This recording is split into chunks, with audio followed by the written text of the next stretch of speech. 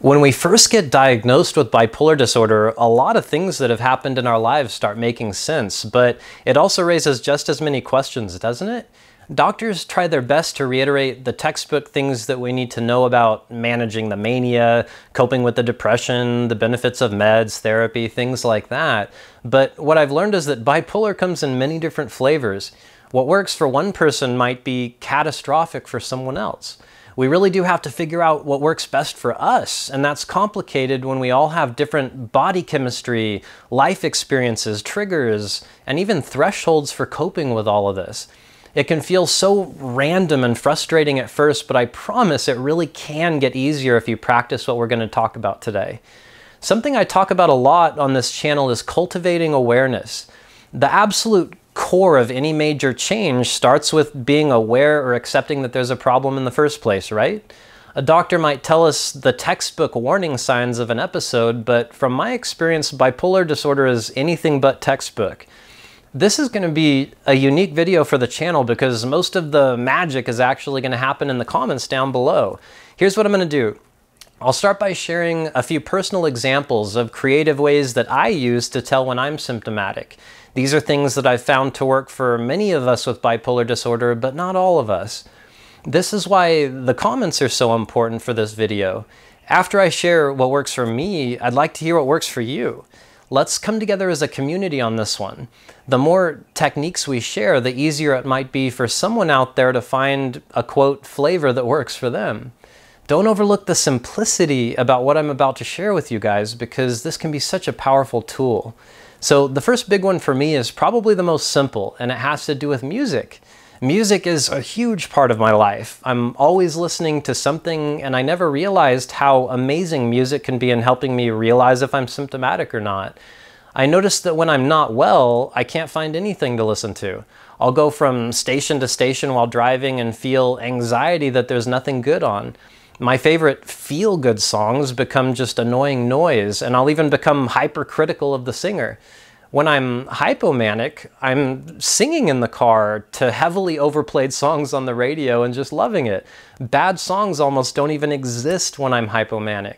When I'm depressed, I've noticed that I tend to listen to really deep or even dark emotional songs like sad love songs.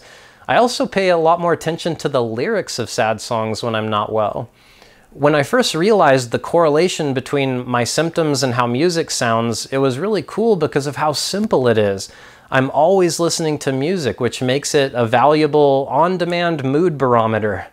I didn't have to wait until my partner or a hospital doctor says, Houston, we have a problem. Once I was aware of this, it took a little time to make it a habit, but now I do this tiny little personal check-in to see how I'm doing when I hear music. The next big one I use to gauge my mood is when I'm in town or around other people. When I'm hypomanic, I'll chat with strangers, make jokes, uh, buy coffee for a homeless person, compliment a stranger on their hair, things like that. I'm sure there's many times where I've I have cold groceries in the car and my poor introverted partner is anxiously waiting for me to finish talking to a stranger about what laundry soap they like. When I'm not well, the overstimulation and social anxiety I get from being around people in public is intense. Long lines at the grocery store feel 10 times longer, kids scream 10 times louder, and people's laughter almost hurts my ears. I also get very negatively hypercritical of everyone. I can really become a total a-hole if I'm not careful, and that's absolutely not who I am at heart. It just means that something isn't right internally and that it's time to leave or take some good self-care. Now here's something really amazing that happened when I started practicing this one. In the past, I'd walk into a crowded store on a bad day and assume that I was so uncomfortable or upset because of the long lines, screaming kids, and friends laughing.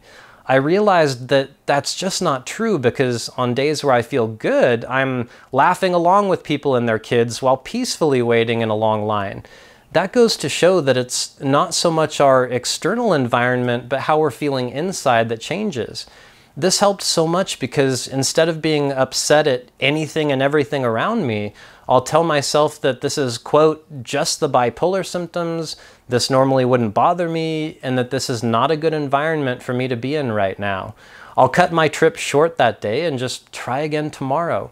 Once we put a name to something like bipolar symptoms, it simplifies it because our mind has a satisfied reason for the feelings.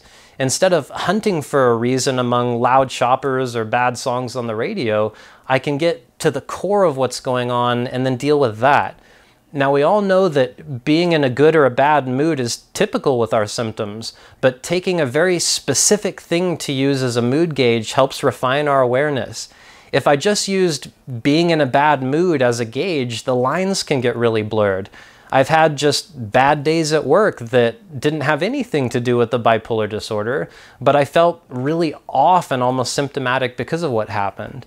The key here is to pick something very simple and specific where there's definitive differences in your experience when you're stable versus symptomatic. Pick more than one thing if you'd like to double check your mood and try and pick things that you do daily or very often. Um, it could be eating, like how much or what you're craving and how it tastes. Um, it could be sex, because a lot of us have very distinct differences in our approach to intimacy with bipolar symptoms. Um, it could be how you interact with your kids. Are you being a super parent and running circles around your kids, keeping up with them, or are you losing patience and thinking that you're a bad parent because of it? I mentioned about bipolar disorder having different flavors. Some of you might not listen to music as much as I do, or maybe you're celibate or don't have kids. That's why the comments are so important in this video. I shared a couple of things that I use, and the more ideas we can share, the better chances that one of you might find a new tool to gauge how you're feeling. If you have a minute, please join the conversation and share what creative things you use to gauge your mood. I'll probably even adopt some of your suggestions into my own life, so I'd love to hear from you. A very warm welcome if this is your first time visiting Polar Warriors. We are the largest online video support community for bipolar disorder, and I hope you feel welcome here. If you have any questions or would like to talk to me personally, I'd love to help. You can find a link in all of my video descriptions to access our private bipolar support community. Hope you all have a peaceful week, and I'll be back soon with more Polar Warrior videos.